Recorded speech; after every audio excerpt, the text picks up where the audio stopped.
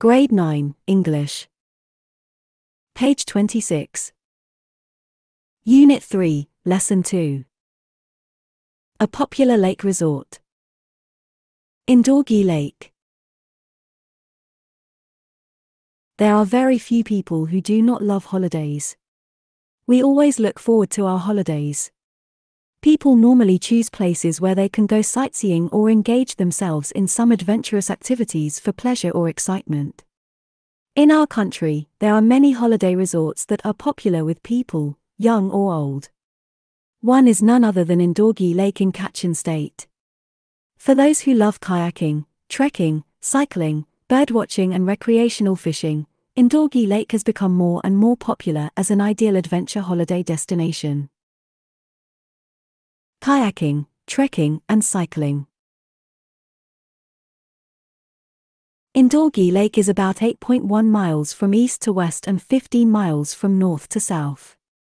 The lake is worth visiting because it is a haven of peace and quiet. To travel around the lake, travelers can hire motorboats, kayaks, bamboo bicycles, and skateboards in Lonton Village. They can go trekking in the surrounding hills and they can do some sightseeing as well. Cycling along the bank in the early morning will offer travelers an unforgettable experience. In Indawgyi Lake's most famous landmark is the Golden Shwe Myitzu Pagoda in the lake. Local people as well as visitors can enjoy the pagoda festival held in March every year. Birdwatching and recreational fishing. About 20,000 birds migrate to this area from Siberia each year to escape unpleasant winter conditions between November and March. Travelers can go on a boat ride on the lake to watch thousands of migratory birds. The sight of thousands of these birds flying in flocks over the wide expanse of the lake is something very rare to see. Although there are some areas prohibited from fishing, travelers can go fishing on the lake for recreation.